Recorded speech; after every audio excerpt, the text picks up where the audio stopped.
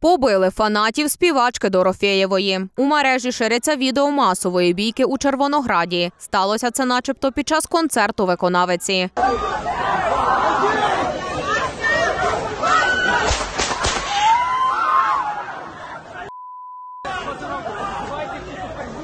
Того дня до міста Червоноград, нова назва Шептицький, приїхала співачка Надя Дорофєєва. Спочатку повідомляли, що бійку щинила її охорона. За словами місцевих, вони, мовляв, били тих, хто перестрибував через паркан. Ба більше під час сутички застосовували сльозогінний газ та зброю.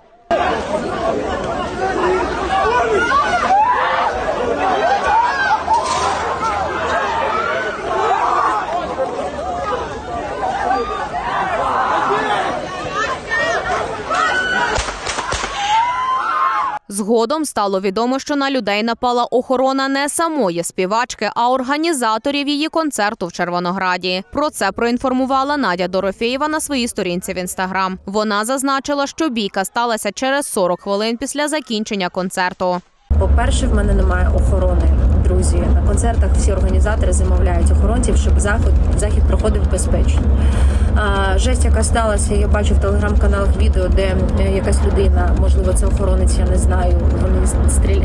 він стріляє вверх, якась заварушка.